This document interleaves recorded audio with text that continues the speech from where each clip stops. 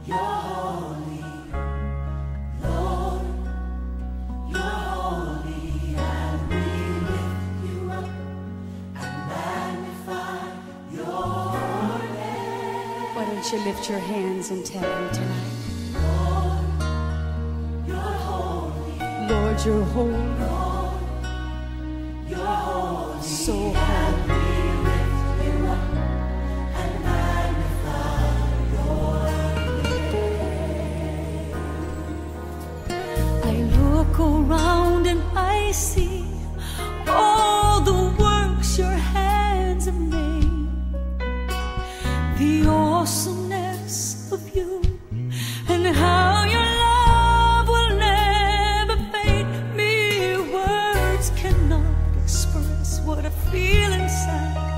I can't describe your glory divine, but as a token of this is what. I